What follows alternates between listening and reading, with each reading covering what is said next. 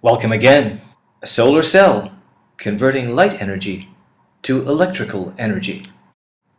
In green plants or autotrophic organisms, it is light from the sun that is used or fixed in the process of photosynthesis. In this way, we say light energy is converted into chemical energy. But not all of that energy is made available to the first level consumers or the heterotrophic organism. Energy is passed to detritivores like earthworms and to saprotrophs like this fungus.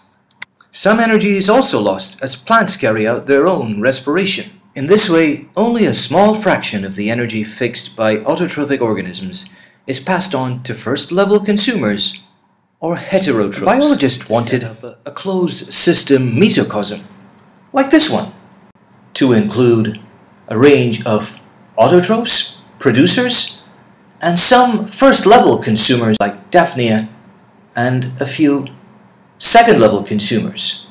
Where could he acquire the data to determine what amounts of plants to include and what numbers of heterotrophs could be supported by this number of autotrophs.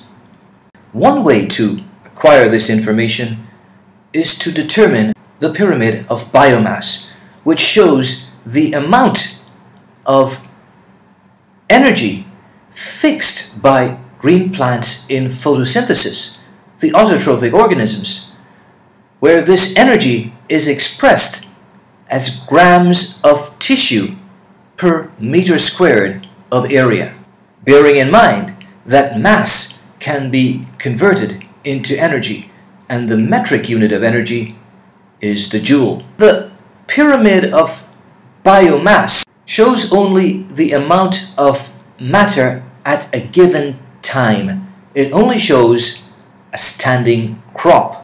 And for real ecosystems, where seasonal changes affect productivity, then it is necessary to consider the amount of mass or energy that is fixed by a particular level, whether that level be the autotrophs or the producers or the first level heterotrophs, but the amount of energy per unit of area over an extended period of time.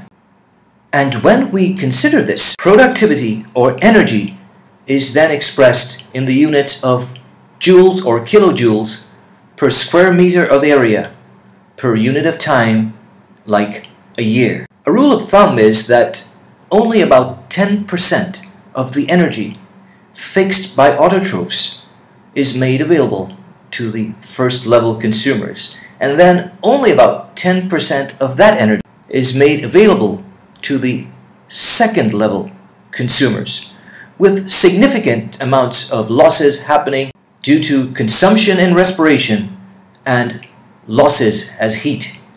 Bear in mind also that some of this energy that is fixed by autotrophs is passed to a decomposer, which is not included in this particular pyramid. But it is important to realize that the 10% rule is simply a rule of thumb. And for many ecosystems, the flow of energy and the efficiency of energy transfer from autotrophs to first level consumers and then to second level consumers varies significantly. And most often, textbooks do not include proper units for the energy pyramids, including simply energy per area and not including energy per area per unit of time. Another shortcoming that is shown in the literature is scale of these diagrams do not reflect the amount of energy supplied by a particular level. Take here, for example, that this first level of energy fixation by autotrophic organisms or green plants, it is 874,900 kilojoules per square meter per year. If we brought out our ruler which unfortunately measures in inches, we would see that this particular block measures about 18.5 inches. And if that is the case, how big should the second block be? The block that represents energy passed to first level consumers. Stop here and try to work out the answer for yourself. When you think you know the answer, advance the video to have a look at my calculations. This number here is the amount of energy fixed by the autotrophic organisms. And this is the amount of energy passed to first level consumers. This value is the actual length of this box in the units of centimeters. And this value here would be the length of the box for the first level consumer.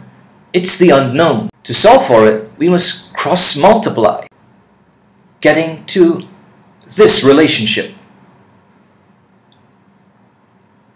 Then solving for the unknown, it comes to an answer of 5.1 centimeters, which now means we must measure out 5.1 centimeters and make this block 5.1 centimeters in size.